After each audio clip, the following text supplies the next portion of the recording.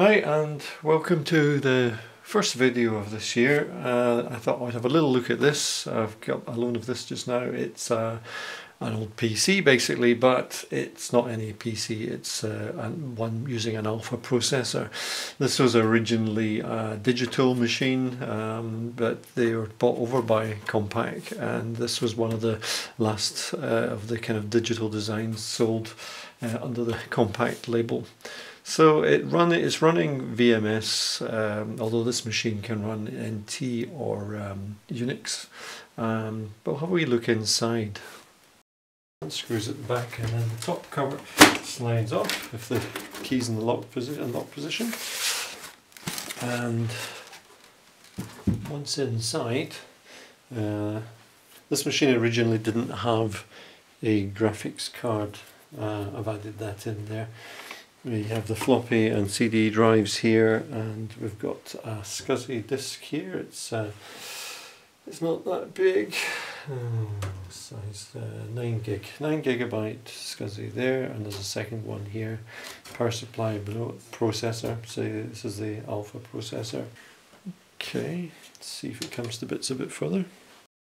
Yeah, one of the things I didn't really like to get at these uh, cards that are on this riser here, this side frame has to come out, um, which again just kind of slides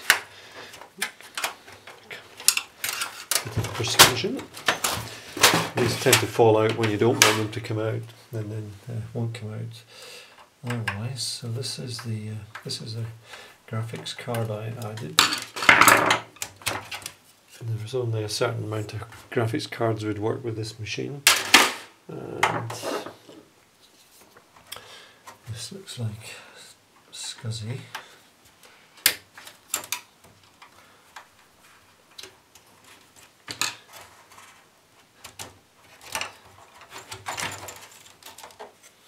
Here.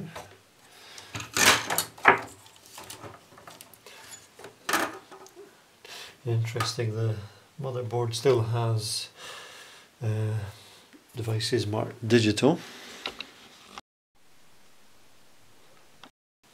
And this is the uh, non-volatile RAM. These can be a bit problematic. That's uh, basically a battery built into the, the, the memory and if they go flat the whole module needs re replaced. Um, you can cut them up, they're potted but there's uh, the batteries inside and unfortunately I think it's quite hard to get these now. Okay, I've kind of stripped this down as far as I want to go right now. What I was looking for is evidence of the the, the digital over the Compaq and I notice if you take the um, memory modules out on this top corner here it's uh, reporting as a digital. Yeah, interesting. They, they even put uh, the word memory on onto the uh, copper on that. Uh, see the serial number says EY, which is uh, means it was manufactured in Ayr in Ayrshire in Scotland. Interesting on this riser card, the, the screen print says Compaq, but underneath in the label it still says digital on the uh, copper as well. Uh, this is a very typical digital thing. They used to put this what they call thieving in the copper uh, layers on the on the circuit boards. So I think I'll uh, put this together again and we can um, try and see if we can get it running. Board has two um, Ethernet connectors here, um, RJ45 type, and still the PS2 keyboards and mouse. And there are two serial ports at the back, uh, which we need to look at later as well. Two memory modules, and they like to put quite a lot of fans in the machine. There's like that's two uh, two fans at the front, one on the power supply and one on the processor.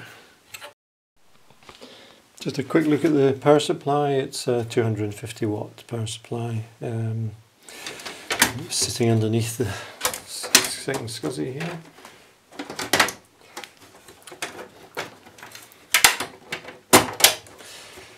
So it's, back together again. Just one kind of point: the uh, processor on the heatsink here, uh, they tended to not put them on sockets; they're soldered onto the motherboard. Uh, this is one I'd removed from another machine. Uh, this one I got Alpha processor, but in this case it's actually manufactured under license by Samsung.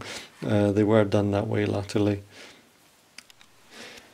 So the, the Alpha processor at the time was the fastest uh, RISC processor available and uh, made the machines quite expensive and quite popular.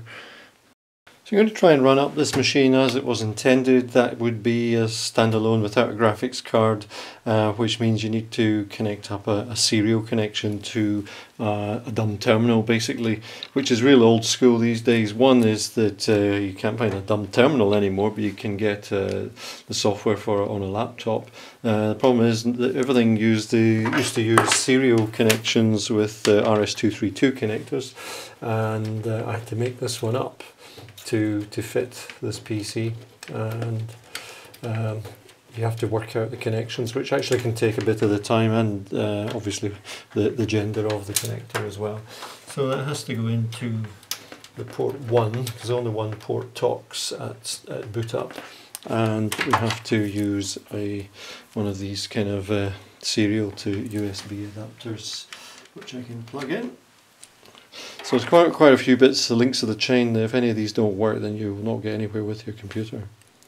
Okay, I've got my laptop here. I've got PuTTY running, which is just our terminal, and if I switch this on, uh, hopefully we can get somewhere with it. Yeah, as you see, I had the comms port in the wrong socket. It's supposed to be in one. One was at the top, strangely enough, but it's the second drive starting.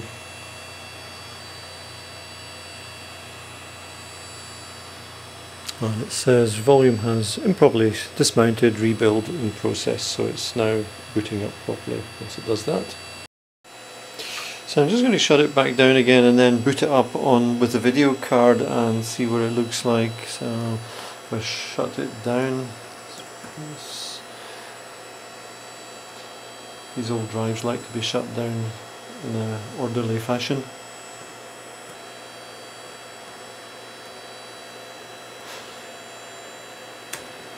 There we go. So just ask a few questions.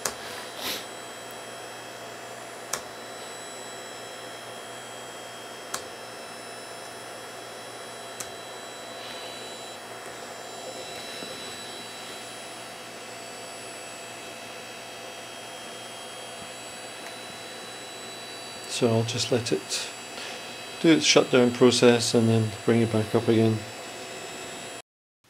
Okay, I've got it connected now, so I've still got my terminal on the serial port and I've also got now a monitor onto the machine's uh, video card and I shall now bring up the machine again. take it a little while, as I say, it's not the quickest of machines nowadays. I've put the covers back on and I've had to connect uh, a keyboard, so I've got an nice digital one and I've added a mouse so we can uh, try and get this working. Uh, you won't be able to enter any commands with the video without a keyboard. It's interesting, it's coming up here, it's testing the system on the, uh, on the, on the terminal, so we've already got things underway. Booting, right.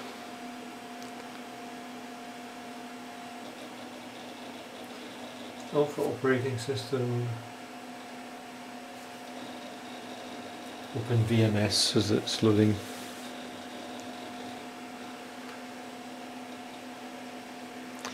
Okay, we've got uh, video starting. It's quite comforting to have the terminal giving you what's going on, otherwise you'd have said the machine is hung, but it is it's still building. Doing the last bit. And it'll come up. That's uh, X terminal coming up here.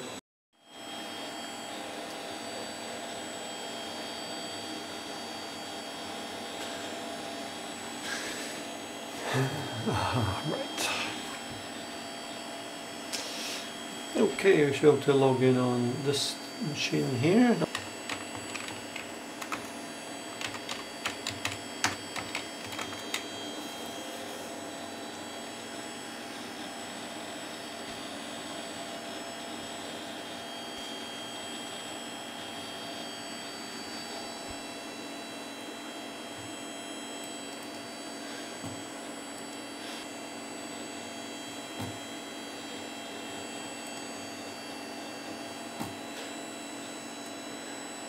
Still pretty pretty much their own version of Windows for this is on VMS looks very similar to the, the, the Unix ones as well. Um,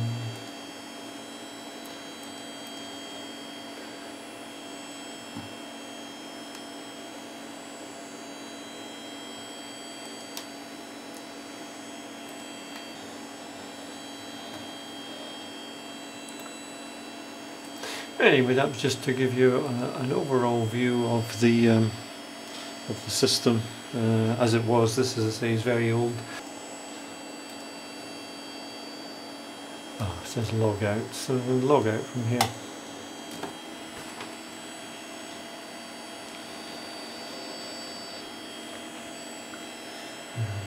You say HP because it's now Compaq's no longer either, it's HP. Well, Thought we found that quite interesting.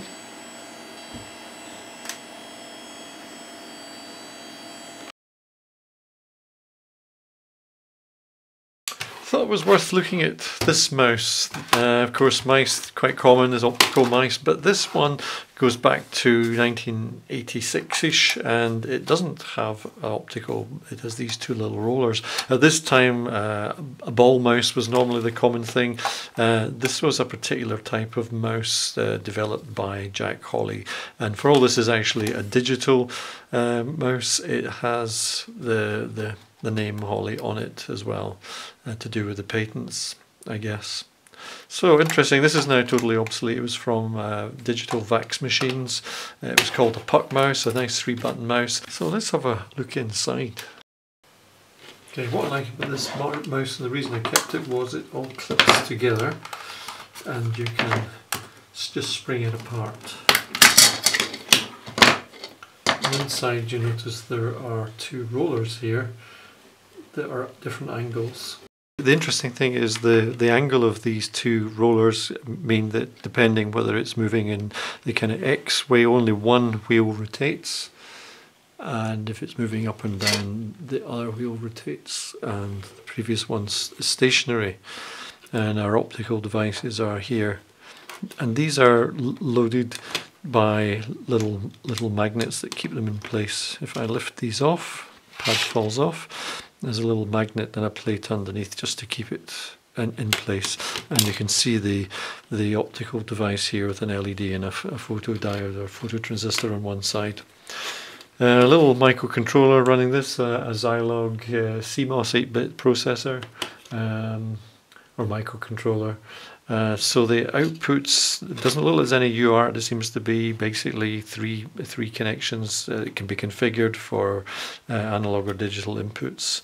Uh, so not compatible with uh, RS232 or USB mice. And for all the connections, look like a PS2. The pin configuration is different, and there's a key that stops them being used. So I don't think it's convertible. But it's just a really nice design, very, uh, as I say, quite old now, uh, and was used in uh, DECs, DEC workstations.